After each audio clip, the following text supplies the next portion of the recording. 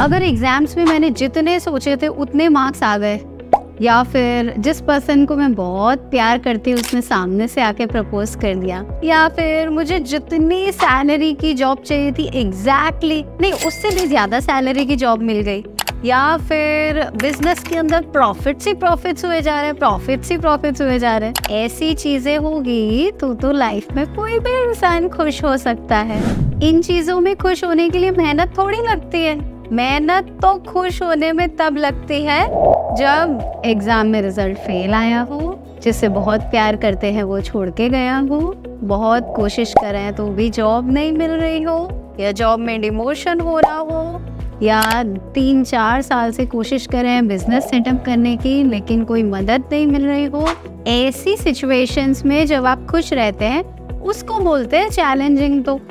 अच्छा सब कुछ हो रहा हो, तब तो कोई भी खुश रह सकता है राइट और भगवान अगर आपको, आपकी लाइफ में ऐसे चैलेंजेस दे रहे हैं तो इसमें एक बात तो पक्की है कि आप बहुत स्ट्रांग हो, वरना चैलेंजेस ऐसे कमज़ोर लोगों को तो देगा नहीं भगवान राइट नमस्ते एवरीवन मैं हूँ आपकी हीलिंग कोच भानुप्रिया, और आज बात करेंगे साइंस ऑफ़ हैप्पीनेस के बारे में, कि ये खुश एक्चुअली कैसे होते हैं, कैसे नहीं होते हैं, और जब उल्टा सीधा चल रहा हो लाइफ में तब भी क्या ऐसा कर सकते हैं जिससे नेचुरल स्टेट ऑफ़ माइंड हमारा हैप्पी रह सके? ओके okay, सबसे पहले तो ये बात समझ लो हैप्पीनेस क्या है? एक स्टेट ऑफ़ माइंड है हमारे मन की स्थिति। इसको एक एग्ज़ाम्पल से समझते हैं कि अगर मैंने आज आपको गिव अवे में गिफ्ट में एक करोड़ रुपए दे दिए ठीक है? इमेजिन करो वाओ कैसा लगेगा? मुझे कमेंट्स करके बताओ how will you feel if I give one crore rupees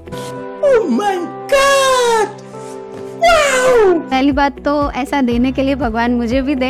and then मैं आप लोगों को डेफिनेटली पास ऑन करूँ। सो so थिंक अगर आपको एक गिव अवे जीते हो मेरे चैनल पे और उसमें आपको एक करोड़ रुपए मिले then how are you feeling right down in the comments बहुत मज़ा आ रही है राइट मतलब सातवें आसमान पे सारे फिनेंशियल प्रॉब्लम सॉल्व ऐसा लगेगा। घर भी ले सकते हैं, इसमें तो गाड़ी भी ले सकते हैं, नया बिज़नेस भी स्टार्ट कर सकते हैं, कुछ भी कर सकते हैं राइट तो बहुत अच्छा फील होगा। स्पेशली जिनके लिए फिनेंस अभी एक बहुत बड़ा इश्यू है, उनको तो बहुत अच्छा फील होगा राइट नाउ इमेजिनरी सिचुएशन है।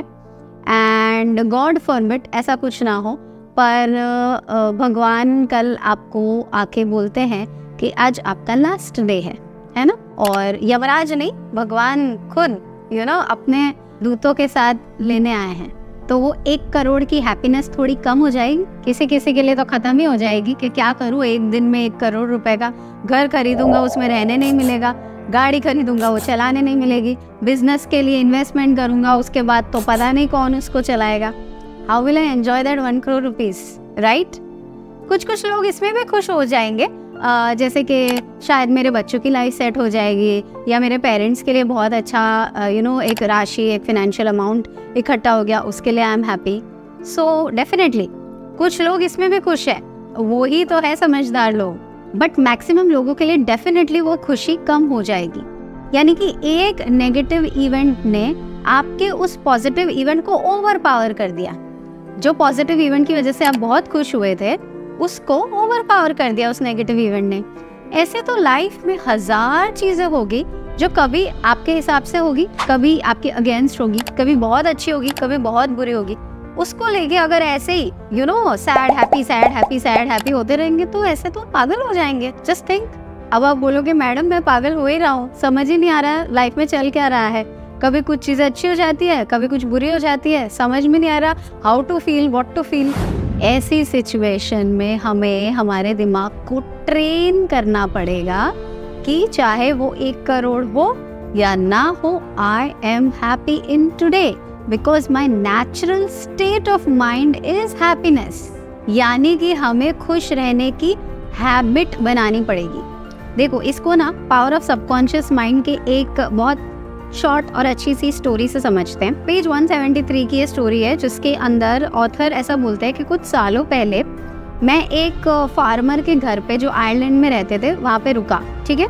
और जो वो फार्मर था ना, वो हमेशा ऐसे हंसता, गाता, गुनगुनाता, मज़े में ही रहता था। मतलब मैंने उसको कभी दुखी देखा ही नहीं है। जितने टाइम में रहा, वो एकदम सेंस ऑफ़ ह्यूमर भी अच्छा मज़े कर रहा है। तो मैंने उसको पूछा, भाई, तुम्हारी ये खुशी का राज क्या है? ऐसे कैसे तुम इतना खुश रहते हो? तो वो फार्मर ने बोला कि ये मेरी आदत है। खुश होना मेरी आदत है। उन्होंने क्या बोला, मैं एग्जैक्टली रीड करके बताती हूँ। Every morning when I awaken and every night before I go to sleep I bless my family the crops the cattle and I thank god for the wonderful harvest happiness is a habit with me यानी कि हर सुबह और हर रात को ये एक fix काम करते हैं। ठीक है? कि अपनी फैमिली को ब्लेसिंग्स देते हैं उनका जो खेत है, वहाँ पे जो कैटल है, जो मैल है और जो भी चीज़ें हैं, ठीक है, खेत में उनके काम की, इतनी उनकी लाइफ है, घर और खेत, आसपास इतनी लाइफ है, जितनी भी लाइफ है, उसको ब्लेस करते हैं कि ये सब बहुत अच्छा है। ब्लेस करने के बाद भगवान को थैंक यू बोलते हैं कि थैंक यू मुझे इतनी अच्छी चीज़ें देने के लिए। एंड धीरे धीरे ये ब्लेसिंग वाली फीलिंग उनकी हैबिट बन गई। कि जैसे मेरे को सच में भगवान ने बहुत कुछ दे के ब्लेस किया है ना, मुझे बहुत अच्छा अच्छा आशीर्वाद दिया है और मैं बहुत खुश हूँ। ऐसा ही मेरा नेचुरल फीलिंग रहने लग गया है काफ़ी सालों से। यानी उन्होंने अपने दिमाग को बोल बोल के, अपने सबकॉन्शियस को ट्रेन किया है, उसकी हैबिट बनाई है कि तुझे खुश रहना है। अब देखना, कोई चिड़चिड़े इंसान होता है जिनको छोटे छोटे बात पे बहुत ज़्यादा गुस्सा आ जाता है। ठीक है, ये कप यहाँ क्यों रखा है? ये टेबल ऐसे क्यों पड़ी है? बहुत सारी ऐसी छोटी छोटी चीज़ें होती है, हमारे ऑफ़िस में होते हैं या घर में होते हैं, उनका स्वभाव, नेचर ही हमें चिड़चिड़ा लगता है कि ऐसी छोटी छोटी बातों पे हमको तो नहीं आएगा गुस्सा, या नॉर्मल जो भी लोग हैं, उनको तो नहीं आता गुस्सा, इनको गुस्सा आता है। क्यों? क्योंकि उन्होंने चिड़चिड़ापन या एंगर को अपना हैबिट बना दिया है। यानी ऐसी चीज़ें जिसमें साधारण मनुष्य को गुस्सा नहीं आता, उसमें भी वो गुस्सा कर सकते हैं। तो हम क्यों ऐसी चीज़ें जिसमें साधारण मनुष्य खुश नहीं होता, उसमें खुश नहीं हो सकते? हम क्यों ऐसी हैबिट नहीं बना सकते? दोनों हैप्पीनेस एंड एंगर फीलिंग्स ही तो है। समझ में आया?